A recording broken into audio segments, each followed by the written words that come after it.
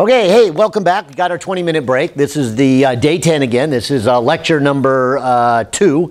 And so we'll go ahead and uh, get started here. And as you know, we were talking about fluids and uh, looking at the physics, and we spent a long time talking about Archimedes' principle.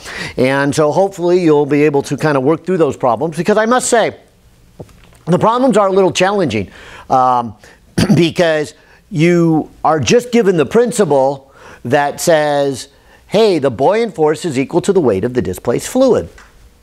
And your author kind of requires you to kind of think that through and kind of come up with your own set of equations and your own logic, and that can be a little tough. That's why I actually did some numbers right before we uh, finished that, that last video. I wanted to do like the uh, percentage underwater uh, because, he, you know, I don't think your author does that. He just says, hey, just, just, just reason it out yourself. And uh, Anyways, I've got a lot of questions in the past about that. But let's do the last part of this chapter and call it quits to chapter 12.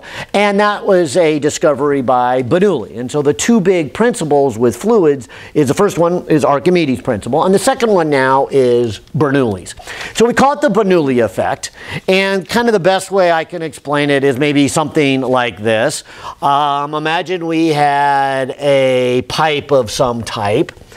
Um, and again, it could be any fluid, so it could be filled with air, it could be filled with water, it could be filled with petroleum. Um, I'll keep talking about air and water because that's what I have out here in the lab to, to, to work with. But here's this, this pipe, if you will. And in this pipe, there are these molecules. And so in this case, I'll just make little dots and say these are the dots representing the H2O molecules. And so they're kind of all over uh, the place. uh, in addition to that, remember, the kinetic theory from chapter 11 that says that these things are moving um, and they're bouncing into each other they're jiggling around, if you use the word that uh, Feynman likes. And so here is kind of my representation, and I won't draw an arrowhead on all of the H2O molecules, but to give you an idea, they're bouncing around. And if you then uh, put a little pressure gauge here, then this pressure gauge would take a reading. Let me just put like a little arrow here right there. And the, the way a pressure gauge reads, of course, it reads the pressure. And the reason it's getting pressure is there's a little metal piece down here that's getting hit by these water molecules, or whatever the fluid is, air molecules, that are bouncing against it and pushing it. And so it's actually measuring how much it's getting hit. And so why we call it a pressure gauge. It, it, it's mechanical. It's like the one we did in the lab yesterday where you, you the uh, little mechanism uh, actually moves and this little piece of metal actually comes up to here and with a little uh, rack and pinion gear here move the dial depending on how much it, it, it moves. And so there's actually this, this movement uh, going on. So if you have a particular pressure, which is coming from the collision of these molecules, here's Bernoulli's effect. Bernoulli takes uh, the next step and says, what would happen if you were to make this fluid start to flow? And so let me draw a second picture and I will draw or make a bunch of dots again uh, representing a bunch of H2O molecules in here. Uh, I'll put our pressure gauge again. But what Bernoulli notices here and then measures, and so I'll show you some experiments here, is that once you start it flowing, and so maybe, you know, maybe this is under pressure and then you open the knob over here and it goes rushing out, the motion of the molecules change. Now, they don't completely go in a direction towards the right there still is some up and down motion on random. But what I am trying to say is most of the motion of the molecules now is to the right. There's a flow going on. And what that means then for the pressure gauge is the molecules don't really go up as much as they used to. They don't hit the pressure gauge as much. And because of that, the pressure then drops. And so something over here where the molecules are stationary would have a high pressure, but once that uh, once the molecules in the fluid start moving, the pressure goes down. And so this is referred to as the Bernoulli effect. And I'll put it in the words that uh, he uses. Bernoulli, and we'll just do it conceptually here, says then that the pressure in a fluid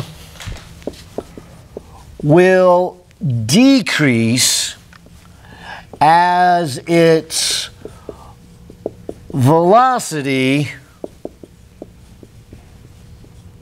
increases. Uh, so let me say it again. Here's Bernoulli's reasoning, and it's a conceptual reasoning. Remember, Archimedes started off conceptually, and then we got to some math. We're not even going to go that far. We're not going to get into some math. We'll wait for uh, uh, Physics 121 for that. It's chapter 14. But let's at least talk about it conceptually about this fluid. And so I'll say it again. If the fluid is not flowing, they're moving in a very random direction, and the molecules are moving left, and they're left, and they're moving right, they're moving up, they're moving down. But the point is, a lot of them are moving up, and then over here, once you get them to move, they don't go up as much anymore. They still go up, so the pressure doesn't go to zero, but the pressure does go down, and so that's what Bernoulli is beginning to say. He's saying here, look, the faster you make the fluid go, the more the molecules move through the pipe. And as they move through that pipe, they're not moving upward or downward. And so sideways to the pipe, they won't hit. And so we say the pressure in the fluid then would decrease as its velocity increases. And that's the Bernoulli effect. And it has some very interesting consequences. It's kind of fun to watch. Maybe the, the simplest one to do first is this little, I'll call it bridge, if you will. It's just a piece of folded paper. And if I, I kind of draw a, a picture of it, a kind of a cross section, I just folded a piece of paper that looks something like this. And the air molecules in the room are both above and below the deck of the bridge. But what I'm going to do here in a second is I'm going to take this straw and blow through the underside of this bridge. You might call the tunnel part of the bridge. You see, then these molecules right here under the bridge will start to move fast. And according to what we just reasoned out here, the pressure should go down. And so the molecules on top of the bridge will now be pushing down with a pressure greater than the molecules under the bridge. And then because of that, you should see some effect. That's why I make it out of paper, because paper, if you have a, a, slightly greater force pushing down than pushing up, you'll actually see the paper then warp. And, and, and, and sag is the correct word here. And so it'll, it'll, it'll, it'll sag. And so I'm going to come over here and well, let me give it a, a try here. Uh, first of all, just kind of hold the bridge into place so I don't accidentally blow it, blow it off here. But if I blow, you'll see, sure enough, the molecules on the outside still remaining at the same pressure, but the ones in the tunnel go to a lower pressure and it's just kind of squeezing it down like that. And so very simple, but I, but I think quite obviously dramatic. Watch, uh, here's another fun one to do. Uh, here's a set of two empty aluminum cans. Okay, uh, they're just hanging from, from string. You can see how they easily shake and rock and they're very light. Uh, but a fun question to ask with Bernoulli's principle here is, okay, what would happen if I were to blow, I'll just use my mouth and blow right between the two? Because see, right now, and I'll just look at the Coca-Cola can here and I'll get the other one out of the way here for a second. We'll put it up there. Maybe I won't. Okay? But see, right now, I would say that there is air molecules on this side and air molecules on this side. And they're each hitting the can and they're hitting it equal. But as soon as I come over to this side and I blow, these molecules all start going in this direction. They don't hit the can anymore. So the pressure, the pressure on this side drops and the molecules out here push in. So my fluid for this, just like the, the, the bridge here, is the air molecules. And so putting the two cans together then should show that this can gets pushed here and this can should get pushed here and of course the can should then come together. Of course, then once they come together and I'm blowing, they bounce all over the place. So you you got to watch this right at the very uh, beginning. But my my first little blow, the,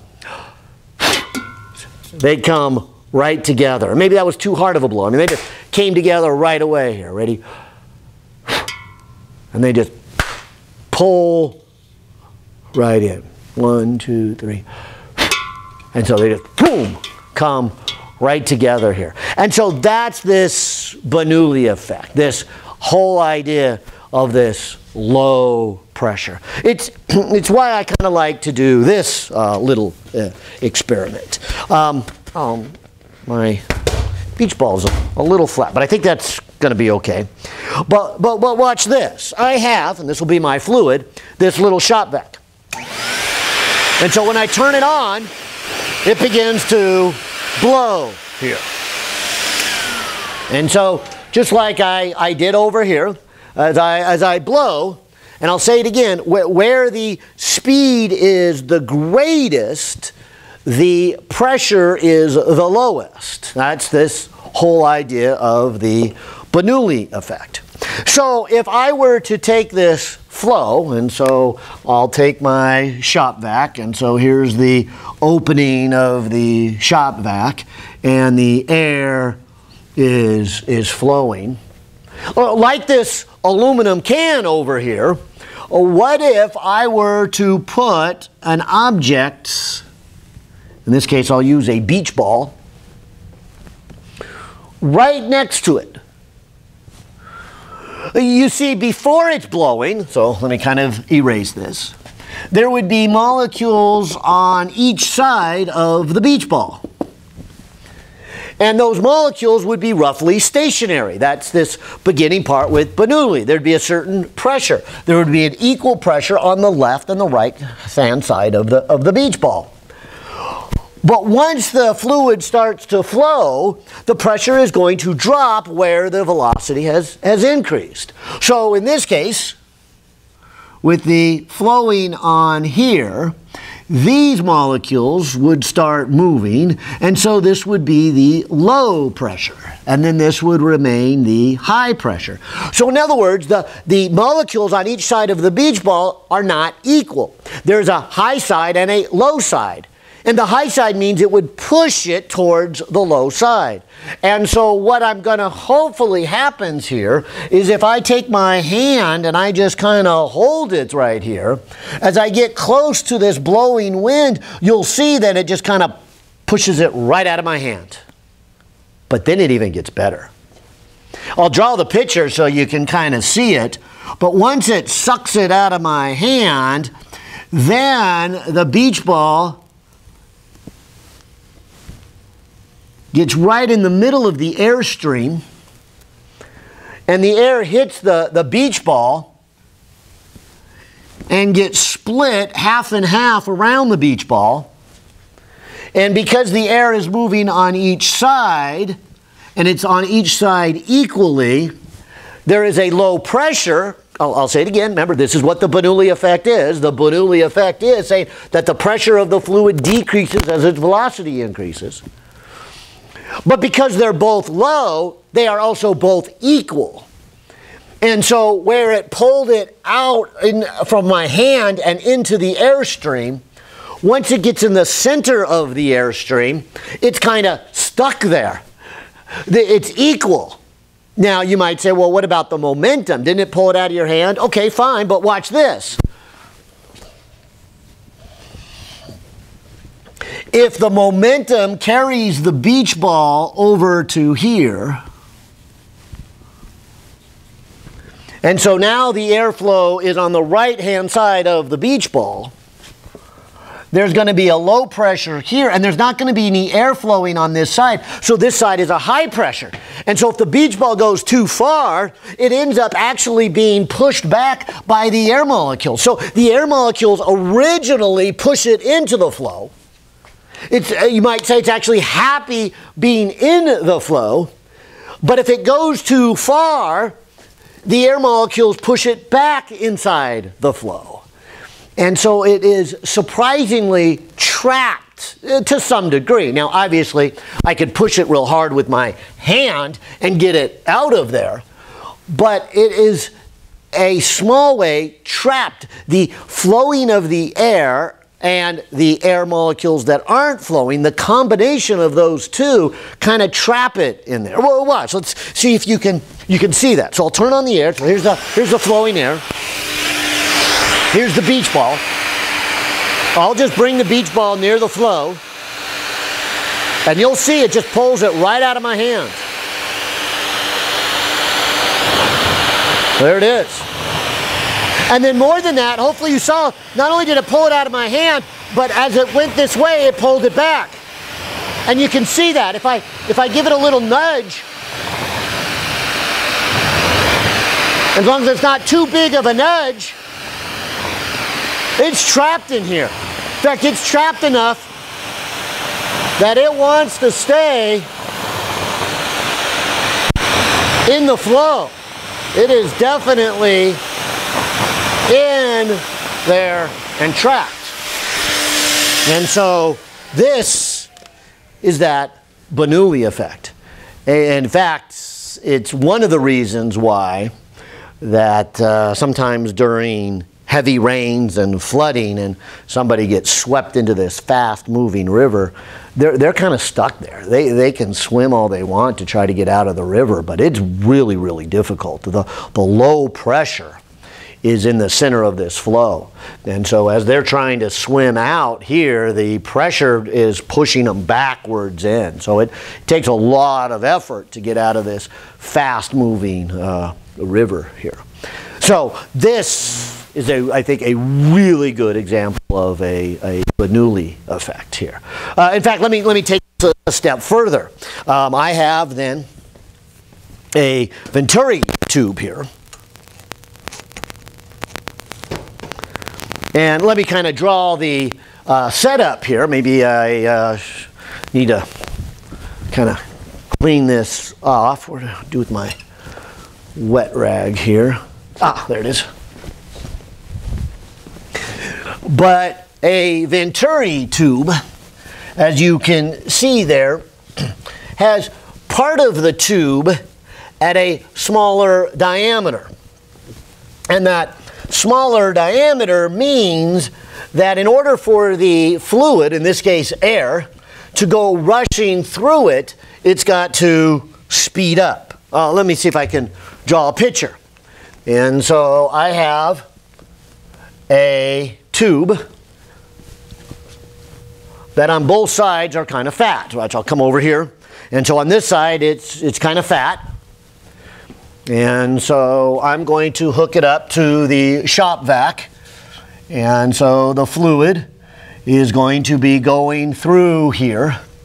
And if you look at that tube, after it flows for a while, it then narrows.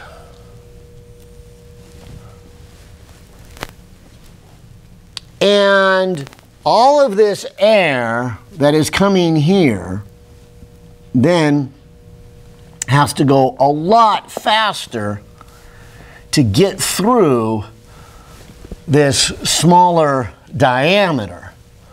So it's in this place where the air molecules are going to go fast. And it's over here where they're going to go slow. And the, the whole reason it opens up again is because over here they slow down again. Now, maybe you've even seen this with a, with, with a river. You know, a river, it's big and wide and it's going kind of slow. Then it narrows and it goes fast. And then it spreads out again and so it goes slow. In fact, a, in a lake, you would say it really spreads out and you don't even really notice the, the movement of the water through the, the lake. It's moving so slow. But I'll say it again, you know, in order to get maybe, you know, a 100 molecules through here, uh, you would have to go really, really fast here. Uh, you, you can kind of see this on a freeway. Uh, a freeway, let's say you have, you know, over here four lanes and it narrows down to two lanes. Uh, from here on back, everybody's going slow. It's bumper to bumper and it's all backed up. And then it narrows and all the cars are merging. And then once the cars merge right here, boom, they just, they just all take off. And so really fast here and really slow here. But using this Bernoulli effect then, because they're going slow, I would say then this area is a high pressure. And then this area is a low pressure. And then what's fun to watch on this is then they slow down again, and so we're back to high pressure, and so the pressure goes back up. And you might even have noticed on here that I have little openings, and those are there so I can actually record and measure the pressure. And so if I turn this on, it's kind of loud, but I'll try to talk over the top of it but this air is racing through. And so you can see the effect of the uh, pressure. I will use the flowing of the air, so these openings just let the air come rushing out. But we can see how much it comes rushing out by how much it levitates a little ping pong ball. So I can measure the pressure here. And so it's trapped in the flow and then I can measure the pressure here. And notice it doesn't stick up as high. That would tell me that the air comes rushing out, higher pressure here than here. And then if I jump around to this side, if I put another ping pong ball here, you'll see that the pressure goes back up. And so it's a little higher than that one. And it's almost as high as that one. It's just not as high because we lost some air because I have an opening. But if these were just pressure gauges, it would go back up to the, to the same pressure. And so there's a noisy example of Bernoulli effect, that the pressure does change to, depending upon that uh, speed here. Now, why is that useful? Well, there's a, a bunch of cases. Uh, one of them is just right here. Uh, let me take all these objects out of my, my frisbee. But a frisbee or an airplane wing are a really good example of the Bernoulli effect here because both of them, and so here's a, here's a frisbee, and the frisbee kind of has a, a rounded edge over the top and then back. And so if you throw a frisbee in this direction, the idea here is that the flow of the air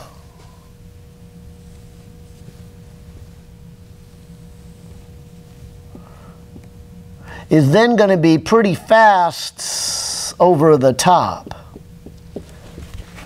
And underneath, there's actually a little pocket, if you will, of stagnant air. And so remember, the low flowing air is where the high pressure is. And so these molecules up here are the ones that are then pushing this frisbee upward. And so I would say under here then is a high pressure, and up here is a low pressure. And it's the shape of this frisbee then forcing the air to flow at different rates over the top versus under the bottom, which then result in a Bernoulli principle, which give these frisbees kind of their, their fun appeal. That if I stand on one side of the room here and wind up and say, okay, watch it go, it, it, it flies really well. It, it, it actually flies. It, it does not follow a parabola like if I tossed a, a baseball. And an airplane wing isn't too much different than that. Uh, an airplane wing, uh, if this is the nose of the airplane and the cockpit, and if you kind of look at the wing of an airplane, the front edge of it is a little bowed. And the back edge is more tapered.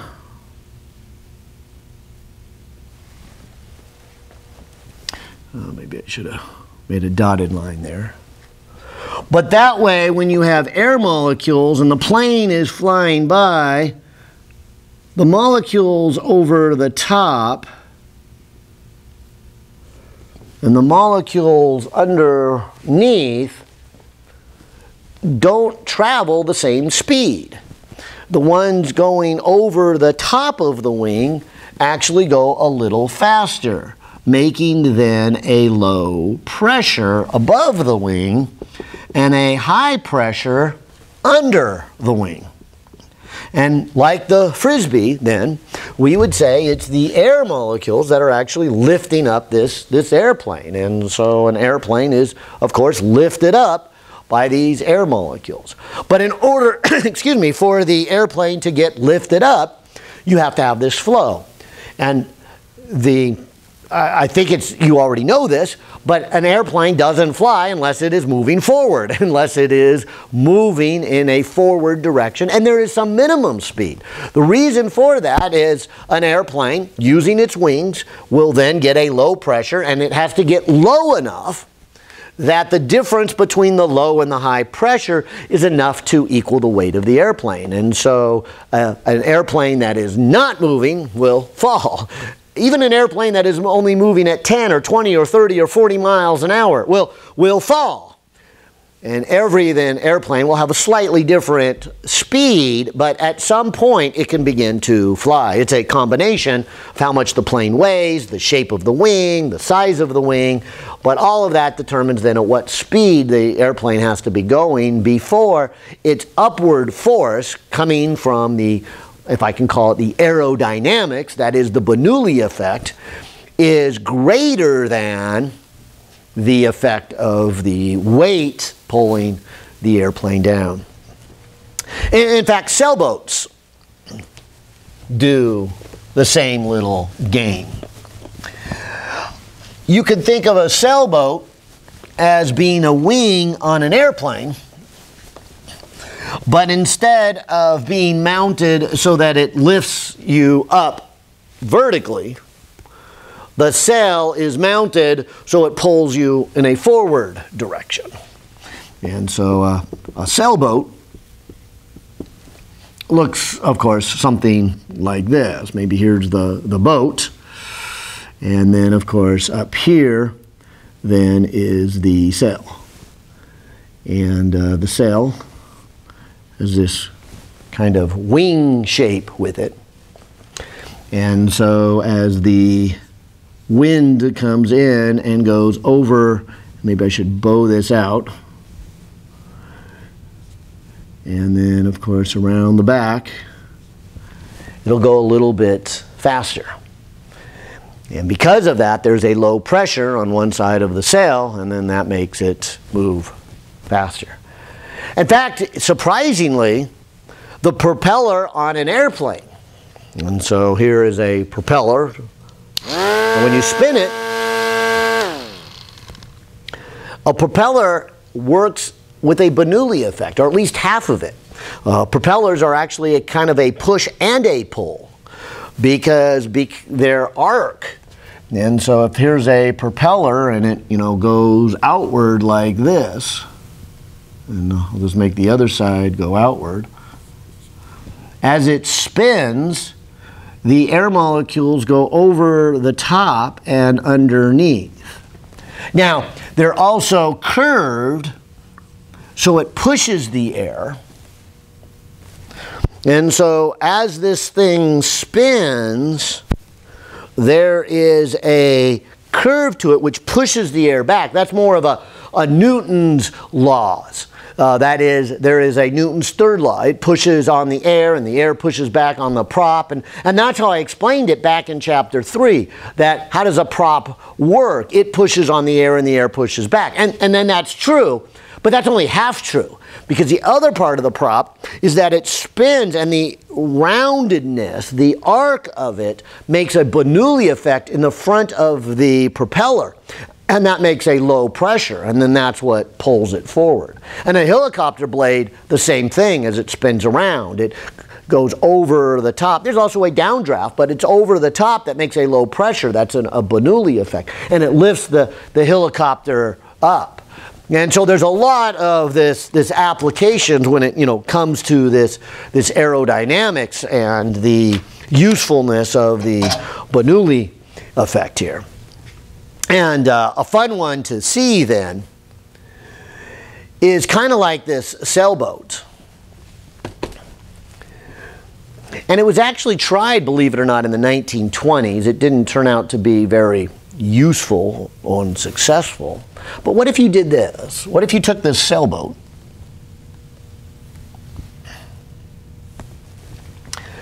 And instead of putting a sail with a shape with a bow like, a, like an airplane wing, what if you mounted a big cylinder?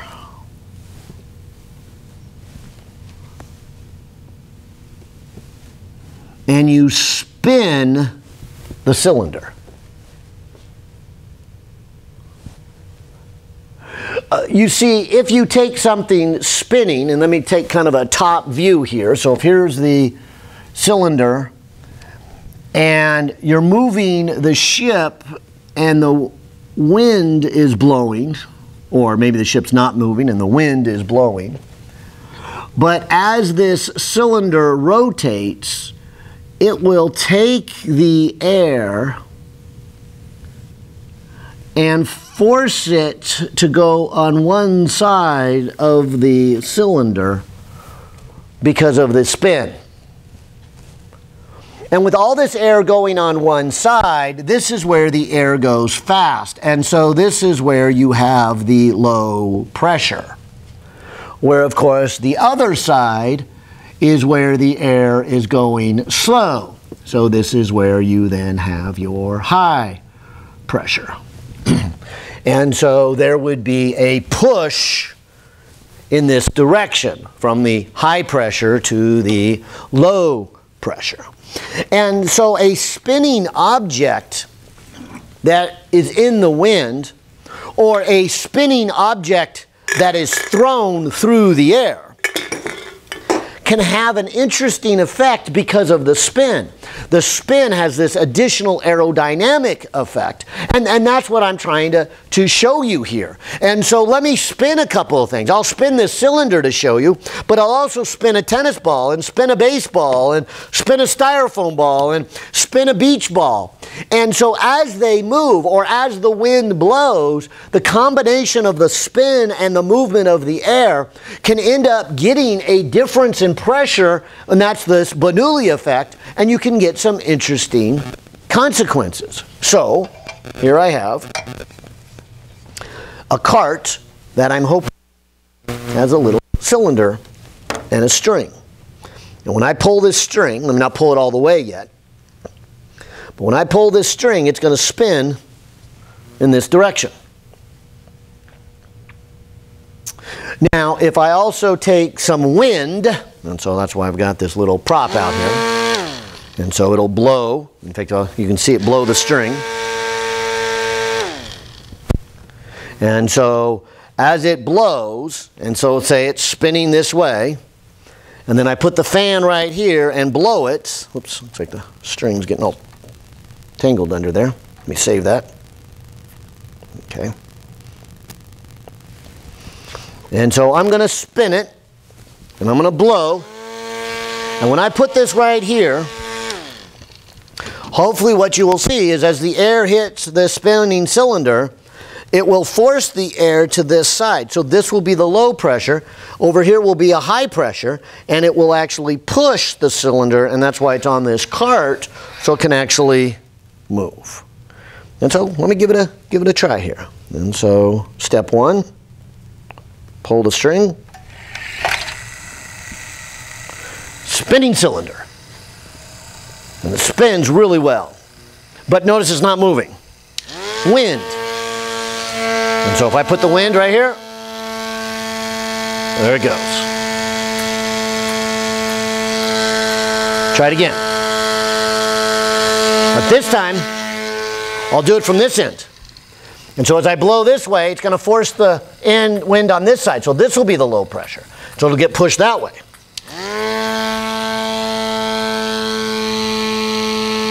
Yep, and sure enough, and it looks like I don't have this exactly level. Let me see if I can do a little better here. So that I go that way, and I go that way, oh yeah, let me do a little better. But it looks like that way and that way. All right. Now it's barely spinning. I might have to start it again, but let's see what happens. But sure enough, it goes that way. And it goes the other way. And so that's the Bernoulli effect.